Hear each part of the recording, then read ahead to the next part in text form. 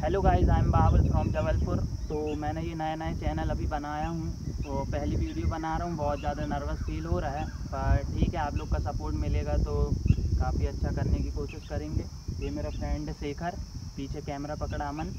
और मेरे पास कैमरा है निकॉन डी तिरपन सौ तो आज हम लोग अपनी वीडियो पे दिखाने वाले हैं। जस्ट नॉर्मल फ़ोटोशूट पे आए थे तो सोचा एक ब्लॉग बनाते हैं। तो आज हम अपने कैमरे को दिखाने वाले हैं मतलब नॉर्मल फ़ोटो शूट कैमरे की कुछ सेटिंग्स और एडिटिंग तो चलो चलें, पहले ब्लॉग ब्लॉग, पहला ब्लॉग शूट करते हैं अपन. कैमरा वगैरह सब रेडी है, सामने मॉडल भी बैठ गया है. ये कैमरे में लेंस फंसा है हम लोग ने, पचपन दो सौ. तो चलो करते उसका शूट अपन.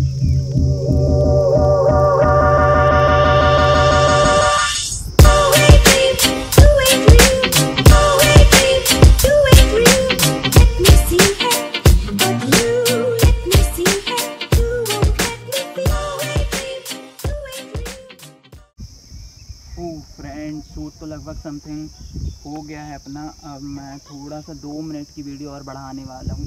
तो मैं ये लोकेशन दिखाने वाला हूँ। लोकेशन दिखाओ।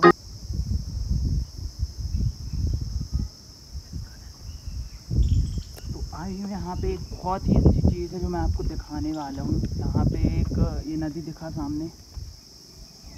ये नदी आप सोच रहे होंगे कहीं से आई है, नहीं, ये यहाँ पे एक छोटा सा, छोटी सी एक धारा निकली हुई है, वो भी गाय के एक मुँह से निकली है।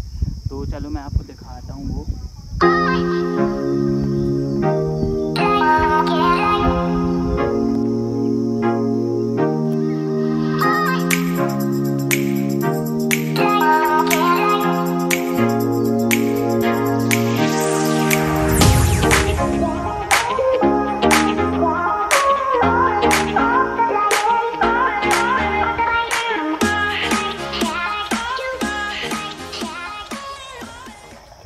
तो यहाँ पे देखिए आपको ल- लग रहा होगा यहाँ पीछे कोई मोटर है या फिर कुछ भी है।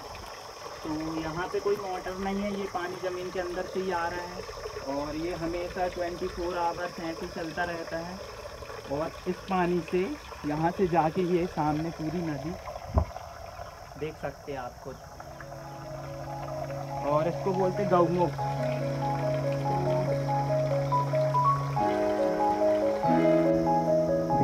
बहुत सुंदर प्लेस है। यहाँ पे बाहर से काफ़ी टूरिस्ट आते हैं और देखते हैं। यहाँ पे घूमने आते हैं। अभी लॉकडाउन की वजह से यहाँ पे ज़्यादा किसी को आने जाने मिल नहीं रहा है। तो काफ़ी खाली खाली लग रहा है। पर काफ़ी अच्छी शांत जगह है और काफ़ी अच्छा प्लेस है। हाँ तो आज का शूट समथिंग कंप्लीट हो चुका है और ब्लॉग भी कंप्लीट है तो आज की आइए क्लिप दिखाते हैं आपको कुछ।